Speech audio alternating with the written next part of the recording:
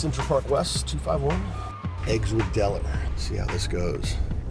Heard a lot about it. What a great city, huh? I go back a long ways with Rick Dellar. One of the first times we hung out, we started having a conversation about his interest in building relationships, and uh, his uh, best way to do that is to have eggs with people. When I interviewed at, at Intelisys, I went to Rick Dellar's house. We sat around the kitchen.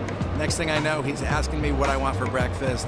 He's making up one of the best omelets, some of the fattest bacon I've ever had, some of the best bacon I've ever had. But that turned into a, a three hour job interview. And that's about almost six years to the day right now. After some late nights, a few more eggs, a few more eggs, and now I figure out this is where the master has mastered relationships. It's all about eggs. Buen dia. For me, it's just a way to get more authentic.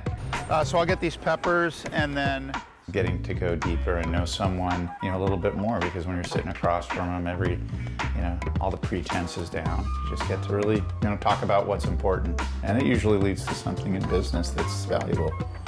Gotta love traffic. New York City traffic, huh?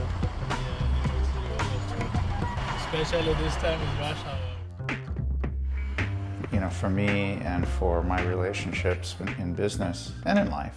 That's where kind of the magic happens, and that's where it really comes out.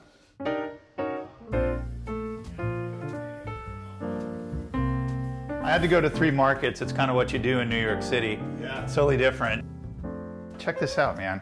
It's uh, Peter Luger's, established 1887. I mean, they're, they're like pork chops. I love cooking. I love the alchemy of it, that kind of fusion of art and science and creativity that appeals to me. That's why I love to cook for friends. And it's no different in our partner communities, and it's no different in our business. To create a great partner community, to meet them you know, on the way to success, that's, a, that's an alchemy. That's a, a combination of art and science, yeah, and a lot of patience. Yeah, we oh, here, you want to see a little trick? Yeah, there you go. Just For a little flavor profile. Oh, nice. Toss a little bacon grease in there. Absolutely. Establishing trust is so critical in business, um, certainly in, in the mentoring and coaching that I do.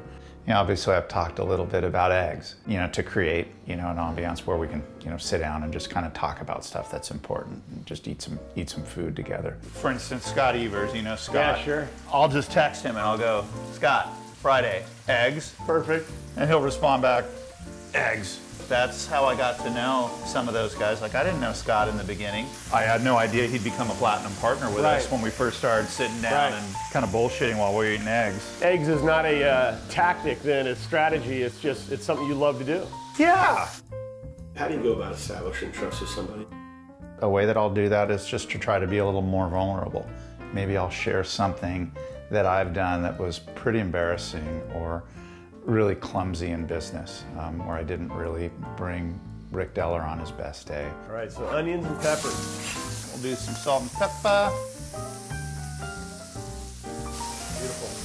I've got a little goat cheese. This stuff gets very soft, so I'll go ahead and toss it in the freezer for a few minutes. Perfect. And then you can slice it pretty easily.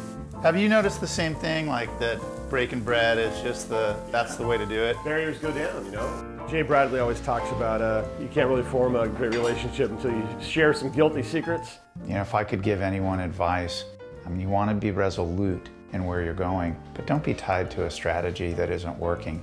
What do you think? Eating eggs with Del. All right, grab a fork and a knife. All right, yes, sir. All right, and I got napkins on Can't the way. wait to dig in. It's not unlike making an omelet. You know, I mean, if it's if you're burning the eggs, don't try to pass it off as something good. Scrape the pan, wipe it clean, put a little bit more oil or butter in it, and start all over again. You'll get there. That bacon, just wicked. That was incredible. That was wrong. Yeah. I mean, that was just wrong.